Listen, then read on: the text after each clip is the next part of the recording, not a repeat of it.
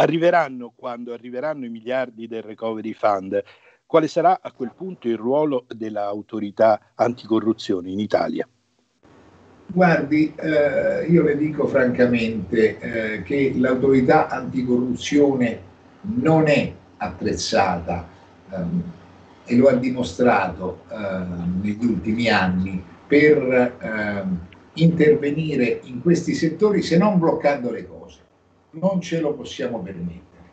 Non è problema di autorità anticorruzione, questo è un problema che riguarderà i giudici penali e i giudici penali faranno, come sempre accade, il loro dovere.